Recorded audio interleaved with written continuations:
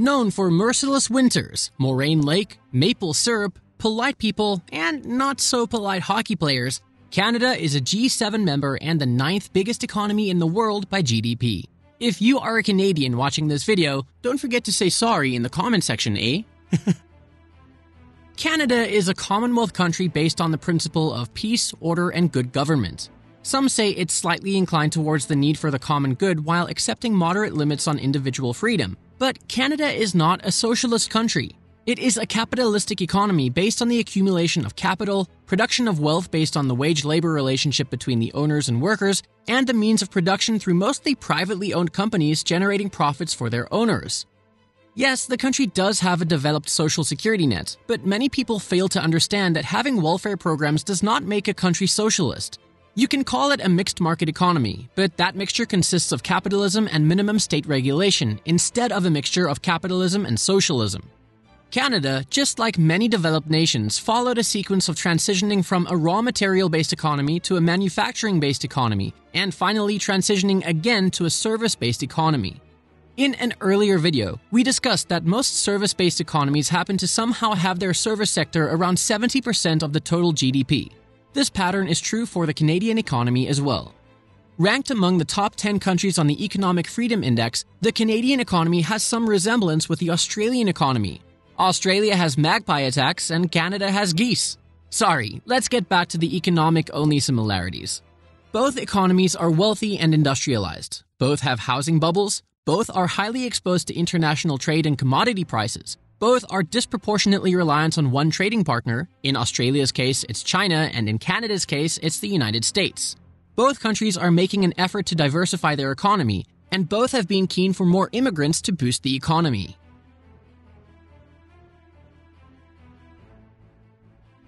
Canada's fertility rate, or should we say the breeding rate, is among the lowest. This rate is below the replacement levels, on the other hand, it has a growing aging population. When it comes to the aging population, Canada is no Japan and not even like Germany or Italy, but with a 17% population over 65 years old, it's not far behind. Further complicating the situation is the combined median age of nearly 42 years. Let's put this all together. A growing number of older people utilizing social and other services without contributing to the economy, a small working age population paying for all this, a low birth rate of children that are supposed to grow up to join the workforce, all this makes the country inclined towards more open immigration policies so a bigger working age population could be achieved. After all, there are only enough taxes that you could put on the high earners under the slogans of tax the rich. And you can't cut back on the social service benefits either, as the existing population is used to them.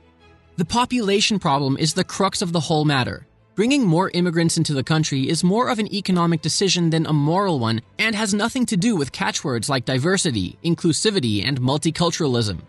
The country is managing its immigration system for the economic benefits of Canada and not for the immigrants.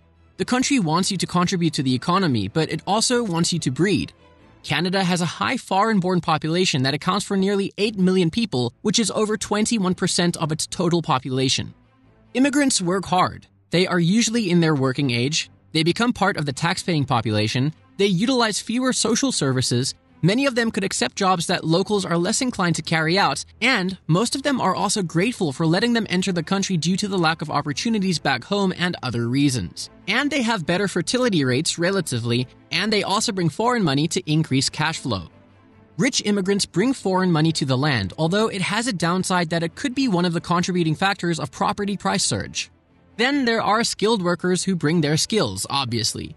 The government does not have a partnership with private companies, so if you don't get the job, then it's your loss. Then there are temporary foreign workers to fill in the jobs that Canadians are less likely to opt in. And last but not least, student immigrants get to study in some of the highest ranked universities in the world. But for Canadian universities, foreign students are a vital source of income, bringing billions of dollars into the country foreign students have to pay much higher tuition fees than the locals. It's economically viable for Canada to let the import of money pouring in. Education is surely a lucrative business.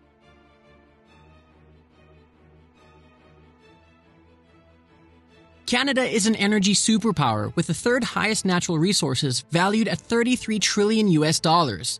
The country has the third largest proven petroleum reserves, and it's the fourth largest oil exporter in the world, with Alberta and Saskatchewan taking the lead. But despite sitting on gigantic oil reserves, it also imports oil for domestic consumption due to various reasons. Canada's oil is supposedly extra heavy, and it's more expensive to extract, refine, and transport. The oil economy can grow and shrink based on the global market prices. When the price is high, it's profitable. When the price is down, it's unprofitable for Canada to sell it. This is true for any business. If your competitor offers the same or better product at a lower price, you are out of business. It makes Canada inclined towards oil imports from the US and Saudi Arabia. Another debatable reason for importing oil is the lack of new pipelines within the country that could increase the availability of domestically produced oil.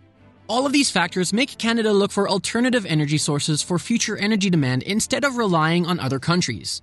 It has comparatively little to do with caring for the environment and more to do with economics. Canada is a collection of smaller regional economies. Some regions want to keep the dependence on oil, while others wish the economy to go all green. Some opinions advocate for a gradual and properly phased shift before it is replaced by alternative energy sources that are cost effective as well as reliable, but no one has a clear answer. Another reason to move away from oil dependence is the need to diversify the economy. Almost all Canadian oil exports go to the US. Staple thesis is a theory that suggests the export of natural resources from Canada to other advanced economies has a pervasive impact on the economy as well as on the social and political systems. Different staples like oil, minerals, forestry, fishing, etc., impact the rates of settlement as well as federal provincial conflicts.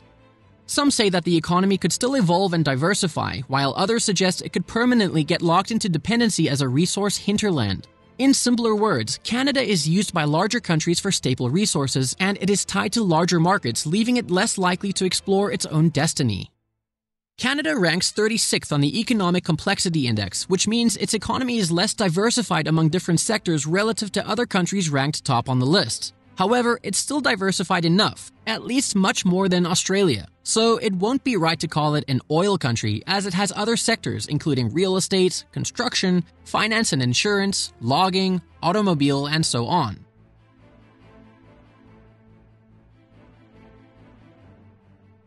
Canada is the world's biggest exporter of maple syrup. It accounts for over 75% of global production. But contrary to the assumptions, the sweet stuff does not have the biggest impact on the economy.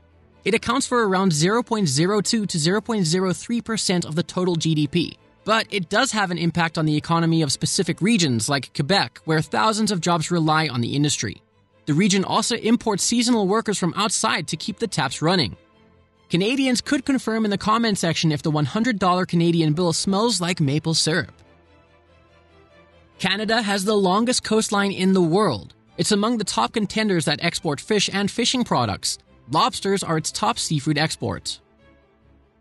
While every election in the US, few people insist that they would move to Canada if candidate so and so wins. Canada's trade and economic prosperity are disproportionately dependent on the United States.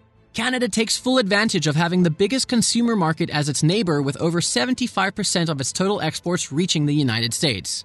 As the old saying goes, when the US economy catches a cold, the Canadian economy sneezes. This is true in most cases except for the financial sector. Canada also gets security benefits for having a neighbor like the United States, which has the highest military expenditure in the world. Most of the Canadian population is situated roughly hugging the US border. Canada is smart when it comes to the minimum wage. The country has no single minimum wage for the entire country. Instead, the provinces and territories set and impose their own separate minimum wage rates. Canada has one of the highest household disposable income, which is a measure of money a household is left to spend or save after income taxes have been deducted. While disposable income is shown off as a shiny number, not many people talk about discretionary income, which is the amount of income left after all necessities are covered. Disposable income does not calculate wealth as it does not take into account the cost of living and average expenditures. This is how most of the advanced economies are generating working poor with the illusion of wealth. On the other hand, discretionary income data is poorly reported by most countries. Canada is no Switzerland or Norway when it comes to the cost of living, but it's still in the top 25 list. Consumer goods are expensive, although it mostly depends on where you are living within the country. Canada is also among the countries with the most expensive childcare when calculated by the percentage of the couple's average earnings. Canada has one of the highest household debts compared to income levels. These are mainly taken for mortgages and it fuels the housing market. Canadian household debt as a percentage of disposable income has risen above 170%. Housing in some areas is an obvious bubble, with Vancouver and Toronto taking the lead. Growing the manufacturing sector in Canada is somewhat impractical. High wages do not allow it to compete against the countries that have a low wage workforce. Cheap imports beat out any hopes for a large scale manufacturing base. This is making the existing manufacturing industry slowly die out or be dependent on government subsidies. Canada has an awesome single payer health system, although it's falsely advertised as a free healthcare system and should rather be called a publicly funded healthcare. Healthcare spending represents nearly 12% of the country's GDP. While some Americans are quick to point out flaws in Canadian healthcare, and you can discuss the comparisons between the US and Canadian healthcare in the comments section below, nonetheless, Canada's healthcare system works great for most of the population. Agriculture is not Canada's plus points plus point and accounts for 1.6% of the total economy. You can partly blame the country's harsh climate. There is an abundance of imported food available at a much cheaper price relative to domestically produced food products. However, the government does offer protection to some agricultural sectors like dairy and poultry against the competition induced by the low price imports and to keep some food self sufficiency, although this results in higher consumer costs for some products. Canada is not the best when it comes to traditional food and cuisine. Poutine is an exception. Kraft dinner is also very popular. Canada has the largest number of donut shops per capita. They also consume the most donuts per capita in the world. Tim Hortons is surely a contributing factor. Canada is the second biggest country in the world by area. From Niagara Falls to the Canadian Rockies and having the highest number of lakes in the world, tourism accounts for 1% of the economy. It is something that could be expanded to its full potential in the future. With its early colonial history, Canada has two official languages, French and English. Bilingualism throughout Canada results in the duplication of government services like bilingual signage, forms, advertisements, and so on, using the public purse.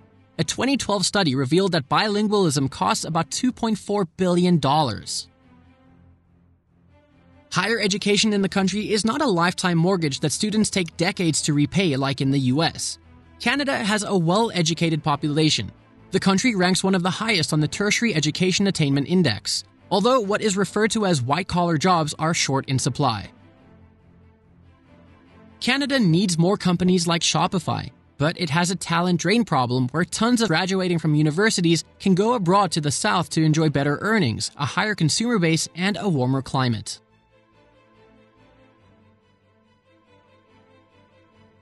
Forget about natural resources. Any country's biggest asset is its people.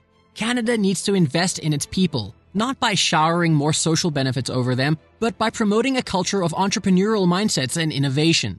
It has to facilitate its population away from a risk averse mentality so they could make things happen instead of waiting for things to happen to them. Other than that, life is great in Canada. Well, we are off to Timmy's to get some Timbits and a double double. We hope you have enjoyed the video. We will try to reply to everyone in the comment section below. Please like, subscribe, and share to support the channel.